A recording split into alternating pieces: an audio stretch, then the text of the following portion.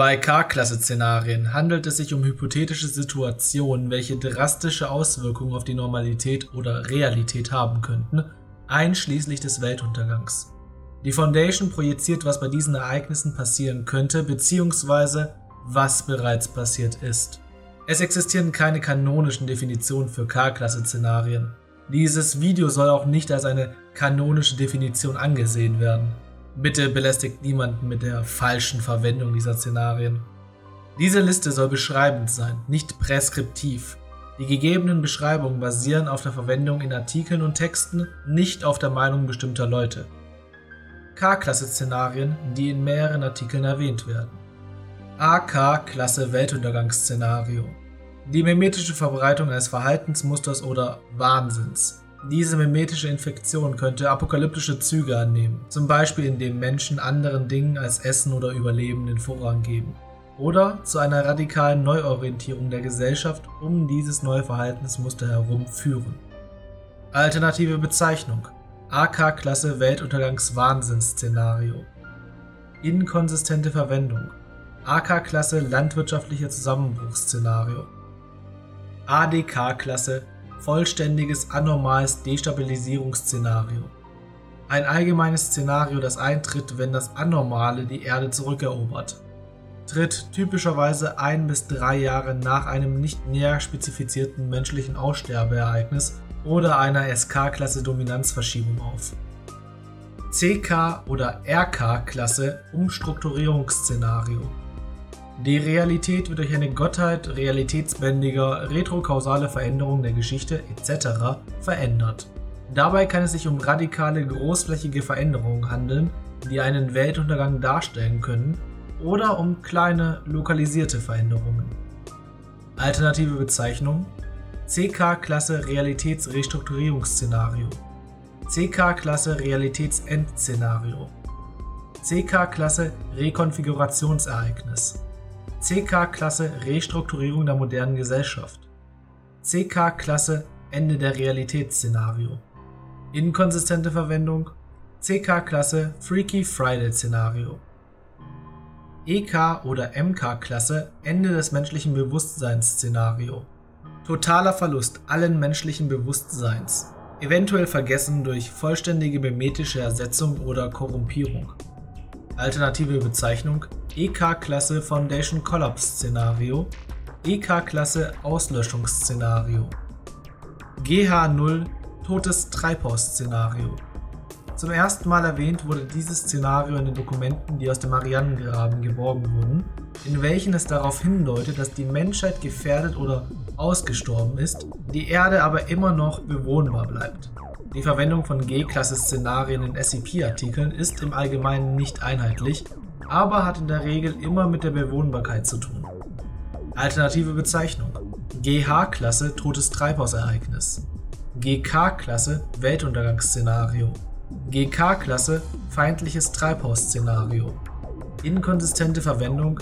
GK-Klasse Globales Antigravitationsereignis. HK-Klasse Unterwerfungsszenario ein Gott oder eine Gottheit erscheint und übernimmt die Weltherrschaft.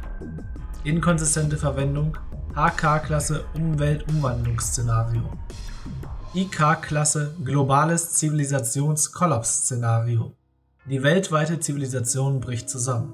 Inkonsistente Verwendung. IK-Klasse Weltuntergangsszenario Informationszusammenbruch. IK-Klasse Naturkatastrophe. LK-Klasse Transmutationsszenario. Etwas an der Menschheit als Spezies hat sich auf genetischem Level verändert. Alternative Bezeichnung LK-Klasse Umstrukturierungsszenario LK-Klasse Persönlichkeitstransmutationsereignis NK-Klasse Graue Schmiere-Szenario benannt nach einem hypothetischen Szenario, bei dem selbstreplizierende Nanomaschinen außer Kontrolle geraten und alles zersetzen, um sich weiter zu vermehren. Dieses Szenario wird häufig im Zusammenhang mit selbstreplizierenden SCPs erwähnt. Alternative Bezeichnung. N0K-Klasse Infektiöses Material-Szenario. PK-Klasse Keine allgemeine Definition. Inkonsistente Verwendung. PK-Klasse Planetares Sterilisationsereignis. PK-Klasse alles in einem existenzielles Pandemoniumsereignis. PK-Klasse Wahrnehmungszusammenbruchsereignis. PK-Klasse kausale Energierückkopplungskrise. QK-Klasse Quantendegenerations-Weltuntergangsszenario. Eine Änderung der Quantenzustände oder physikalischen Gesetze zur Quantenmechanik, die dazu führt, dass entweder die Materie der Erde oder sogar des gesamten Universums zerfällt. SK-Klasse Dominanzverschiebungsszenario. Eine andere Spezies oder Zivilisation ersetzt die Menschheit als dominante Spezies oder die Menschheit ersetzt eine andere Spezies oder Zivilisation. Inkonsistente Verwendung. SK-Klasse kaputte Maskerade-Szenario. SK-Klasse unfruchtbarer Boden-Szenario. TK-Klasse totale menschliche Transmutation. In Bezug auf SCP-3895 die Assimilation der gesamten menschlichen Spezies in ein einziges biologisches Objekt. TK-Klasse defekte Zeitlinie-Szenario.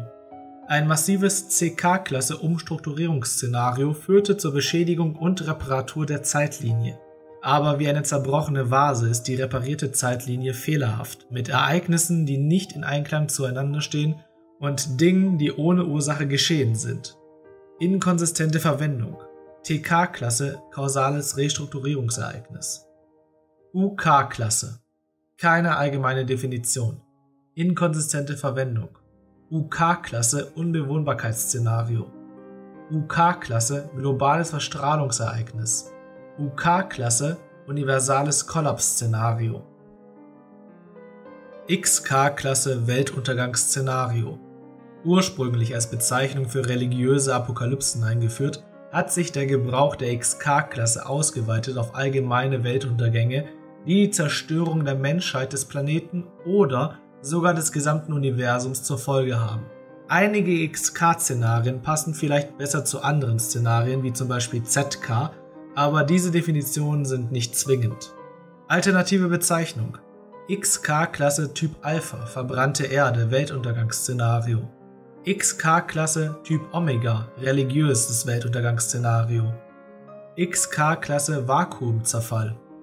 XK-Klasse Massenaussterbeszenario. Patmos XK-Klasse Weltuntergangsszenario. YK-Klasse. Keine allgemeine Definition, meistens eine Apokalypse auf Grundlage physikalischer Eigenschaften oder Effekte. Alternative Bezeichnung YK-Klasse Entropisches Vernichtungsereignis. YK-Klasse Universumsuntergangsszenario. YK-Klasse Realitätsumstrukturierungsereignis. YK-Klasse Umstrukturierungsszenario.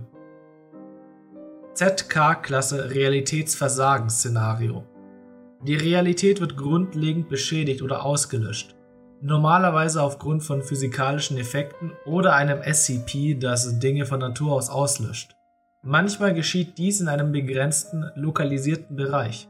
Ursprünglich wurde die Bezeichnung in physiklastigen Artikeln verwendet, sie ist inzwischen aber auch zu einer breiteren Verwendung übergegangen. Alternative Bezeichnung ZK0 Realitätsversagensszenario ZK Lambda Klasse Kosmisches Fragmentierungsszenario ZK-Klasse Realitätsuntergangsszenario. Z1-Klasse Realitätsrücksetzung. Gelüfteter Schleier-Szenario. Kaputte Maskerade-Szenario. Wissen über die Existenz der Foundation oder Anomalien wird öffentlich bekannt. Alternative Bezeichnung. LV0 Gelüfteter Schleier-Szenario. Scharf SK-Klasse Gelüfteter Schleier-Szenario BK-Klasse Kaputte Maskerade-Szenario. SK-Klasse Kaputte Maskerade-Szenario. X-Klasse Lüftende Schleier-Szenario. AE-Klasse Allison Eckert Allison Eckert Atmungsaktivitätsszenario. Allison Eckert. Alternative Allison Eckerts. AE-Klasse Totales Allison Eckert Ausfallszenario. Zerbrochenes Allison Eckert Szenario. BI-Klasse anstehende Invasionsszenario. Ein K-Klasse-Szenario, insbesondere eine Invasion aus einer anderen Dimension, steht unmittelbar bevor. Die folgenden K-Klasse-Szenarien entstanden im Rahmen des Doomsday Contest von 2018. Aleph K-Klasse Apotheose-Szenario. Die Foundation hat in ihrem Auftrag, die Menschheit zu schützen, versagt. Die einzigen überlebenden Elemente der Menschheit sind die, die sich in der Verwahrung der Foundation befinden. Alternative Bezeichnung TPK-Klasse Taumaturgisches Proliferationsszenario Aleph K-Klasse Foundation Apotheose-Szenario Omega K-Klasse Ende des Todes-Szenario Allen Lebewesen wird Unsterblichkeit aufgezwungen, ohne jede andere biologische Veränderung. EDK-Klasse Lethe-Szenario Eine hohe Anzahl von EDK-Lethe-Ereignissen treten in einer Häufigkeit auf, die spürbare und negative Auswirkungen auf die menschliche Gesellschaft hat und zu einer öffentlichen Wahrnehmung des SCP-3848-Phänomens führt. EDK-Lethe-Ereignis, ein Phänomen, bei dem eine Gruppe von Personen in einem bestimmten Bereich ein Konzept, Objekt, Entität ohne Vorwarnung vergisst. Wenn sie daran erinnert werden, werden sie es vergessen, sobald sich das Thema des Gesprächs ändert. Weltuntergangs-KO-Fehlschlagsszenario. Jedes Szenario, in dem das Shark Punching Center so kompromittiert wird, dass es dauerhaft und völlig unfähig ist, seine Mission zu erfüllen, wird vom Shark Punching Center verwendet. MA-Klasse Massenbelebungsszenario. Alles, was ein Gesicht besitzt, wird zum Leben erweckt. BE-Klasse Migration Bewusstseinsuntergangsszenario. Die Ersetzung eines signifikanten Teils des menschlichen Bewusstseins durch einen inkompatiblen geringeren Geisteszustand. Zum Beispiel geschah dies nach dem Tod eine feindliche Vogelgottheit, die die Menschheit als eine gefallene Rasse betrachtete, das menschliche Bewusstsein als Strafe verbannt und einen fremden, vogelgeschützten Mem erlaubt hatte, seinen Platz einzunehmen. Später führte dies zu der Verwandlung der Menschen in vogelähnliche Gräuel. Alternative Bezeichnung BE-Klasse Mentale Migration Ende der Gedankenszenario GD-Klasse Gestaltauflösungsszenario Das Ergebnis des SCP-3475-Programms. Bei dem Versuch, den Kontakt der Menschheit mit Anomalien mimetisch zu kontrollieren, erzeugen diese mimetischen Maßnahmen selbst Anomalien. GR-Klasse Feindliches Demiurg-Ereignis. Wenn die okkulten Funktionen von SCP-3457 richtig ausgeführt werden, gewährt es dem Benutzer taumaturgische Fähigkeiten. Dies ermöglicht es ihm dann, Dinge in der physischen Welt nach Belieben zu verändern und zu beeinflussen. Delta W-Klasse Bewusstseinsfinsternis-Szenario. Das Eindringen von SCP-3547 in unser Universum durch die Verwendung von SCP-3547-A. YN-Klasse Ragnarök Untergang des Wissens-Szenario. Ein Ragnarök-Szenario beschreibt ein apokalyptisches Ereignis, das durch eine Reihe von zwei zusammenhängenden Anomalien, den Weltenbaum und Nidhögg, verursacht wird. Der Baum stellt die physische Form des gesamten Wissens der dominanten Spezies dar. Er kann sich auf verschiedene Weisen manifestieren, aber in der Regel erscheint er als ein extrem großer Baum, der das Zentrum der Anomalie darstellt, woraufhin Nidhögg erscheint. Bei Nidhogg handelt es sich um ein drachenähnliches Wesen, das sich um den Weltenbaum herum manifestiert. Nidhogg ist aggressiv gegenüber dem Baum und versucht ihn zu zerstören. Wenn Teile eines Baums zerstört werden, werden die Informationen, die diese Zweige repräsentiert haben, aus der Existenz gelöscht. Ein Ragnarök-Szenario folgt.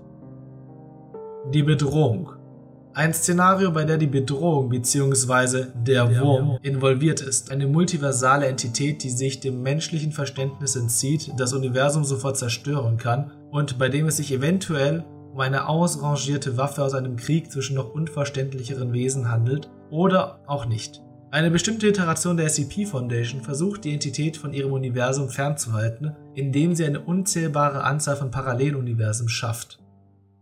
Merkur K-Klasse Welt von Babel globales Verständnisverlust-Szenario Wie in der Geschichte vom Turmbau zu Babel verlieren die Menschen die Fähigkeit, sich gegenseitig zu verstehen.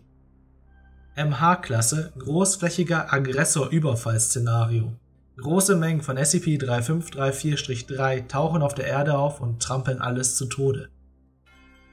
ARBH-Klasse Insektenhölle-Szenario Ein Szenario, in dem eine Insektenart oder Population durch anormale Mittel zu einer direkten Bedrohung für die menschliche Spezies und ihre Umwelt wird.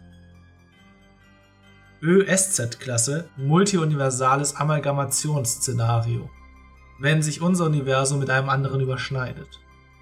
XP-Klasse Reality Bluescreen Szenario Die Realität ist eine Simulation und stößt auf einen fatalen Fehler. HB-Klasse Binokalypse-Szenario. Anormale Bienen befallen die Gehirne aller Menschen auf der Erde. Henneck-Klasse Schwarzkörper Untergang aller Welten-Szenario. Tritt ein, wenn sich SCP-001 aus dem Pietrikau-Fontaine räumlichen Stabilisationsarray befreit. Sempi-Klasse Tod des geistigen Auges-Szenario.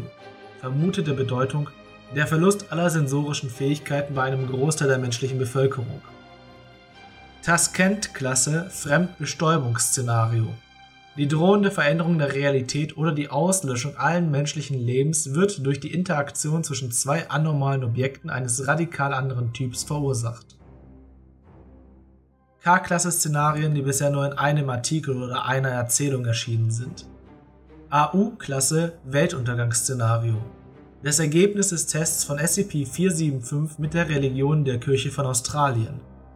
BB-Klasse Universales Entstehungsereignis. Die Erschaffung eines Universums in einem Urknall-Szenario. BC-Klasse Universales Kollapsereignis. Das natürliche Ende eines Universums in einem Big Crunch-Szenario. DK-Klasse Realitätsinvasionsszenario. Entitäten aus einem anderen Universum beschließen, unser Universum zu erobern.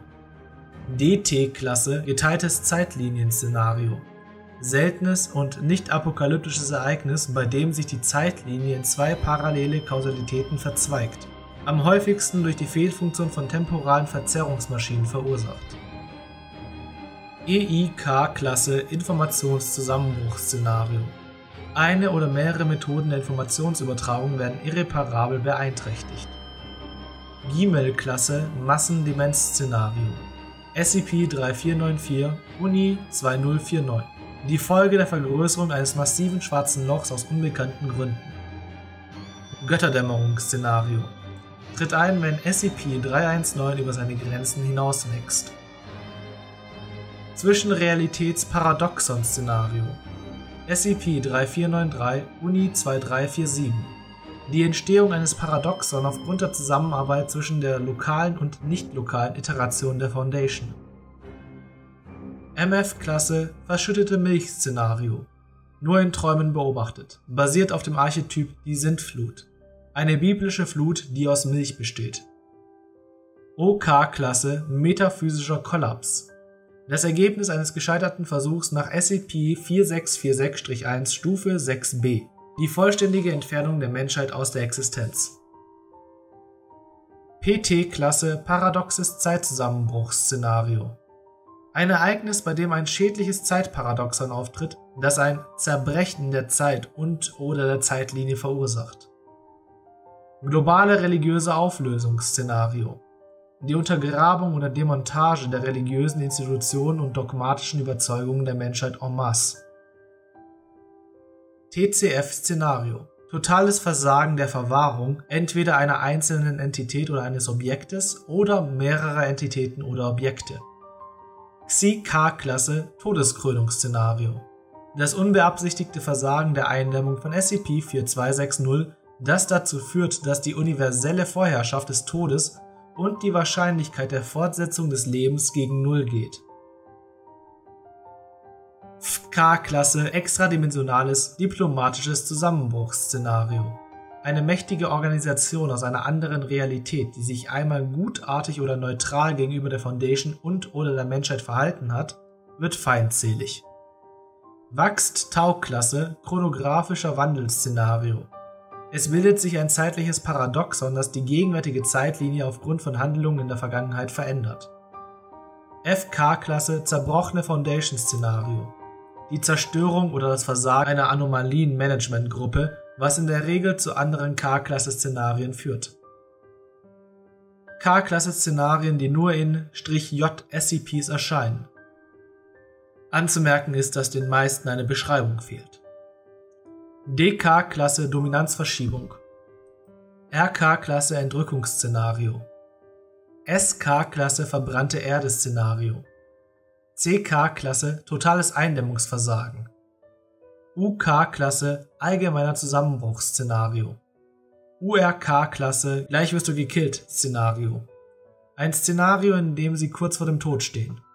UHK-Klasse Du wurdest gerade gekillt Szenario. Ein Szenario, in dem sie getötet wurden.